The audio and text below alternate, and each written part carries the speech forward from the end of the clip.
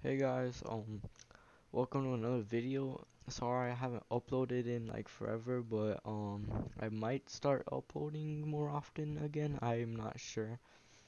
This video, I'm just gonna show you how to, or I'm we're gonna rework the system of the Superpower Training Simulator game, because this way is not very safe. Exploiters can easily exploit it and it's very difficult to save or nearly impossible to save since data store service is only on server. So I guess first we're going to start off with the tools. So go into starter pack and get to your tool. Open up the local script for the tool. What you want to do is you want to highlight everything and you want to copy it all. So once you copy the entire script you can close it now go to your tool. This, right now we're doing meditate. Press on the plus. Insert a regular script. As you can see it looks like this. There's no little character on it. We can rename if you want. Now get rid of the print hello world and paste in the script we just copied. Now in a local script you can't get the local player so we're gonna have to get the player a different way so what we're going to do is we're going to get the parent of this script, so script.parent, which the parent is going to be the tool. And now the parent of the tool is starter pack, which starter pack is in the player. Now we want to get the parent of starter pack, which should be the player.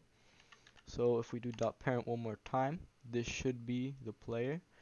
But because once you equip the tool, the tool will be in the player's backpack, we're going to have to do something different. So we can get rid of this and we can do game get service.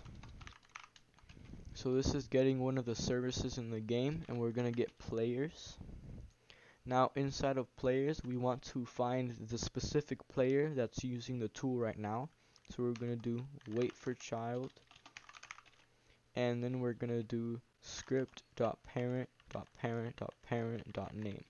So this is waiting for a child that's named this, which this should be the player's name, and it should be inside of the player service, which is the same thing as this. This right here is player service in Explorer. So now we have this script finish. We can remove the local script so now let's go on to our punch tool. So in our punch tool, we can do practically the same thing. Copy your script, press the plus on the plus on the punch tool, insert a regular script, the one without the little player, remove hello world, paste in this script, and we can do the same script we did last time, replacing the local player and doing game, get service, players. Wait for child. Script.parent.parent.parent.name which should get the player successfully hopefully possibly. So that should be the punch tool done. We can remove the local script in the punch tool. Make sure you keep the script there. Now finally the push up tool. What we can do is we can copy this once more insert another script by pressing the plus on the push-up tool and pressing script. Remove print hello world and pasting in this script. We can remove game not players dot local player and we can once again do this script. Game get service players. Oh one second. Reopen the script. Wait for child script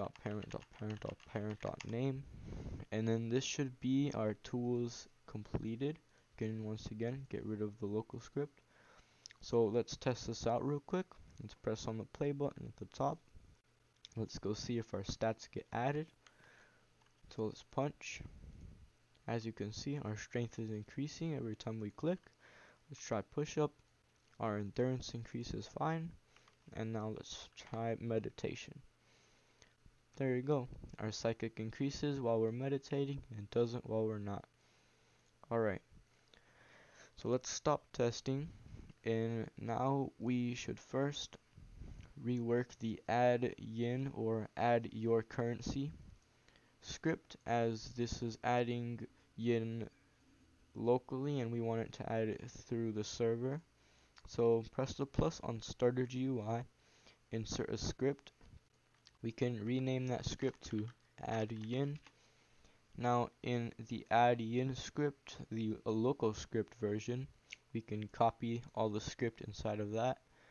Let's go to our regular script, remove hello world, and let's paste in our script. Now this way we might have to get player differently. So the parent of add yin is starter GUI and starter GUI is called player GUI when it's in the player. So we can get the parent which is starter GUI and then the parent of starter GUI will be the player. So we can just do script.parent.parent. Now for testing purposes, you don't have to do this. I'm just going to show that it's working. We can change this to 2 seconds so it'll increase quicker.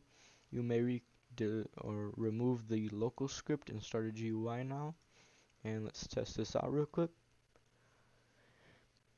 Alright. As you can see, our yen or our currency is increasing every 2 seconds. We might not be able to increase our multiplier because it's being added differently. So there you go. That works. I'm going to change the time to 30 seconds once again. Alright now we want to rework our multipliers so in statistics shadow we can go to our statistics and here we have all of our buttons so first, let's rework the endurance verify. Go to our, click on endurance verify, go to our yes button, open that up, and open up the local script in the yes button. Now this is our script, it should be pretty simple to change. So let's copy everything in this script. And now we can close out of the script. In the yes button, press the plus and insert a regular script. Should be the one without the little player. And let's paste in our script here. Now to get player it's a little bit more parents than the add yin script but it's practically the same system.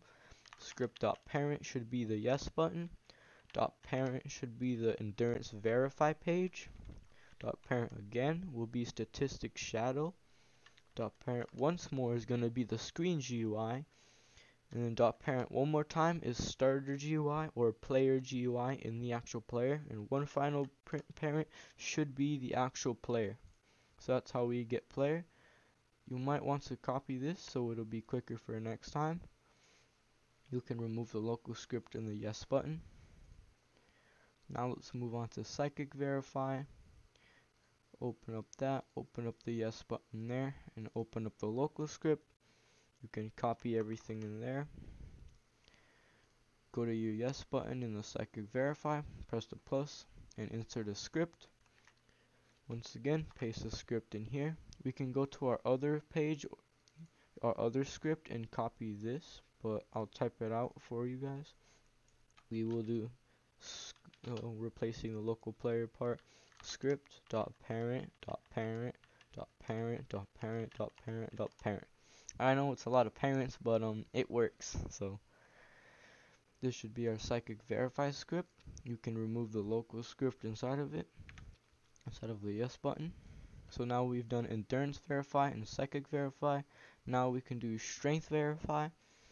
So go to our yes button, open that up, copy our local script, copy, then add in, press the plus on the yes button and strength verify, add in a script, remove everything else, and paste this in. Now we're going to replace this line up here on the first line. Script to script dot parent dot parent dot parent dot parent dot parent dot parent. And that should be that part. Now we can go back and remove our local script here. Now we should be done with that factor and we should be done reworking the system so let's give it a try I'm gonna change add yin to 2 seconds so I can test the multiplier So let's launch our game here. This video might be shorter than the other episode, but this one's just to rework the system so we can make things work properly in the future. So as you can see, our currency is going up. We click and we get strength. We click with our push-up tool and we get endurance. We need 150 to upgrade our multiplier, so let's wait until we get there. Almost there. Now we have 150 currency. Let's upgrade our strength multiplier. Yes. As you can see, this price increased, our multiplier increased, and every time we click, we now get 2 strength. So as you can see, it was pretty simple to rework the system, but it's going to be necessary for the future, as now it's less easy to exploit the game, if that makes sense and it'll be easier to save values and properties and such like that. In the next video I'll show you how to save the values. And just for now go to game settings at the top. I'm not sure if you'll be able to see this but press game settings at the top. Go to security and enable studio access to API services and then save that That'll just make it easier for us next time. Hope this video helped, and goodbye.